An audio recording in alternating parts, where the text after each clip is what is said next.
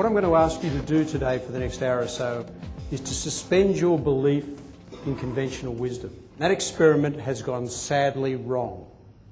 And the experiment I'm referring to is the low fat, high carbohydrate experiment that is absolute rubbish. You ask any intelligent person on the street what is the best diet for heart disease, they'll say low fat straight away. And you, you would have all thought that. That is rubbish, and I'm going to show you why it's rubbish.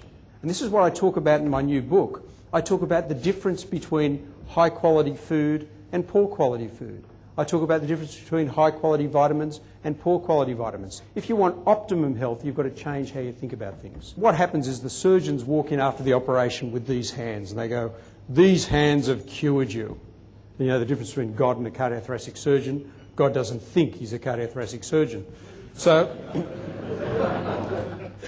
bypass surgery is a bit of sophisticated plumbing that does absolutely nothing to the underlying process. It's all about prevention. And people aren't thinking prevention. They just wait till they're in their 40s, 50s, and 60s and have their heart attack. Note I said 40s, 50s, and 60s. It's not a disease of old people. We're seeing too many people dying prematurely from heart disease and cancer, and we've got to start doing something about it. This thing here is called the membrane. It's the covering of every cell. The membranes of your cells in your body, every single cell in your body has this membrane, and these membranes are 75% fat. So you go on a low fat diet, you are damaging those membranes. Low fat is ridiculous. It doesn't work. And by the way, look around. People have been following this low fat, high carbohydrate diet for the last 25, 30 years, and everyone's getting fatter, and everyone's getting sicker. Every second person you speak to feels tired, and everyone's stressed out of their brains. So the system we've been given ain't working. So it's all this processed packaged garbage that we're putting down our throats every day that's destroying our cell membranes and stopping our cells from getting proper nutrition. Now, I've just explained to you, which modern medicine up to this point hasn't been able to explain, the epidemic of diabetes, obesity, high blood pressure, high cholesterol, and cardiovascular disease that we, ha we have in our current society. It's the chronic poisoning to our bodies by synthetic chemicals, which we're exposed to all day, every day, especially the stuff we're now putting in our mouth. But just go outside and breathe.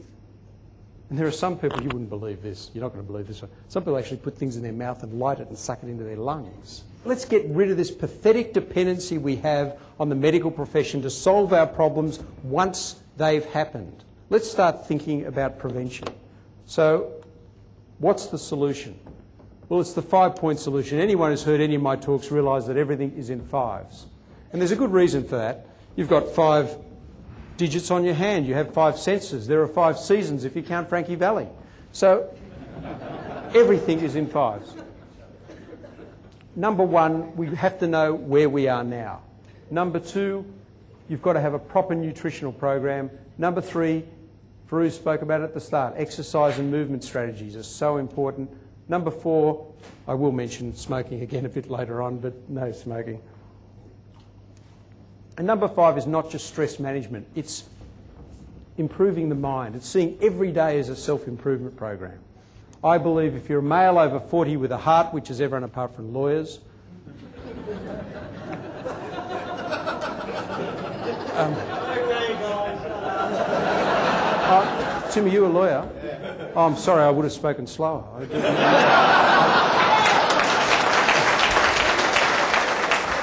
You're sucking the fat out of his arteries. And you can do that if you really want to. But you have to know where you are. You have to know where you are now, not wait till the disease occurs. Two and a half thousand years ago, a guy called Hippocrates, you may have heard of him, the father of medicine, said this Let food be thy medicine. We all eat too much. Western society eats too much. We were all designed to be hunter gatherers. But the only hunter gathering we do now is drive our car down to the supermarket, throw all the groceries into the back of the car, and drive home. Number one, get rid of synthetic food out of your system. And I'll go through each one of these and what it means. It's a con job, guys. It's a con job that's making the food industry squillions of dollars and creating diseases for people like me to treat. You can do something about it. You've got the same stuff in avocado, and it's more natural. You see what I'm saying? You've got to start thinking differently to what you've been told. Why is protein so good for you? Because really we speak about carbohydrates and fat and leave protein out of it. And I think that's a shame because proteins are positively good for you. We have this epidemic in this society now of depression. And we're treating depression with vitamin P and vitamin Z, Prozac and Zoloft. I mean, you know what happens when you give a bunch of Maoris Prozac. You know what you call them? Once were warriors. so instead of having that biscuit or piece of cake for morning tea, have some nuts in the office. And what are the best three nuts? Walnuts, almonds, and macadamias. Blueberries has the highest antioxidant content, closely followed by strawberries. Extra virgin olive oil. Extra virgin olive oil comes from really, really ugly olives. Slow, but you got it. It's good. Now, there's a few caveats here. Caveat number one is you don't get double the benefit for double the dose. Caveat number two, you can't save it all up for Friday night. And you see here, my doctor said only one glass of alcohol a day. I can live with that.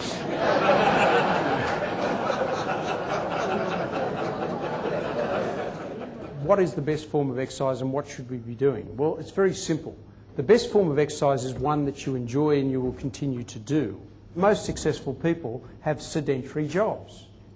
So you've got to try and train yourself, even at work, to get up and move as much as possible. This is the face of a smoker.